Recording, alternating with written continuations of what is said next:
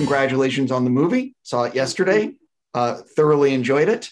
Um, I love learning about the behind the scenes of the making of uh, film. You know, stuff that I might not know. Um, what do you think might surprise people to learn about the making of Stillwater? Um, I think just that we got to, um, you know, I got to, at least for me, spend a lot of time talking with people um, at Les Baumettes, the prison. A lot of the guards, um, all the guards that you see in the movie are real guards that actually work there.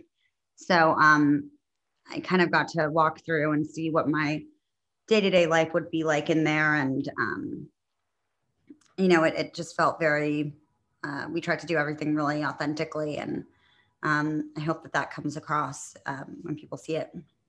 A hundred percent. I think one of the reasons it does is because uh, Tom has this knack with dialogue about making it like very authentic, and it doesn't feel like a Hollywood script. It feels like you're watching real life people, you know, real people just on a movie screen. Can you sort of talk about uh, the, I guess, the script and, and Tom's dialogue?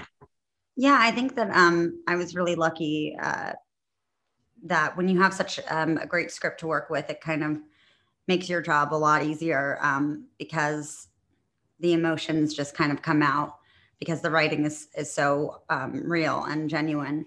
So um, I think that's just a real testament to um, Tom and, and Noé and Toma, who are the other writers on it, um, just how they really um, found a way to tell uh, this story, which is really complicated in such a truthful way.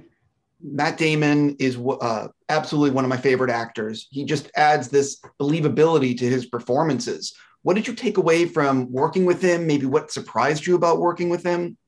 Um, you know, he's such a um, a really patient actor and so generous and and really collaborative and um, just down to do as many takes as need be to get it right. And um, yeah, he's he's super not like full of himself. He he could be if he wanted to, I'm sure, but he's just a super down to earth, like normal dad. Sure. I, the thing that I found, uh, I, have gotten to interview him a number of times, and he's always game to talk about anything. Could be Scorsese, could be the Red Sox, it, it could be anything. Yeah. Uh, did you ever, you know, geek out with him over just stupid stuff? Or you're like, remember when you did that movie, The Departed? That was kind of good. um, uh, no, I I think mostly we, we would just the, the funniest thing that happened, I think, was that we had to do a scene where I'm driving the car and he's in it. And uh, I believe he was tipped off that I'd gotten my license for the movie. And um, there's just one picture of us sitting in the car and Tom's like giving us some direction. And it was right before I started driving. And I'm like, like, am I gonna accidentally kill Matt Damon? And he's just like clenching onto the side of the door, like terrified probably for his life. But he taught me how to do a U-turn, so that was nice.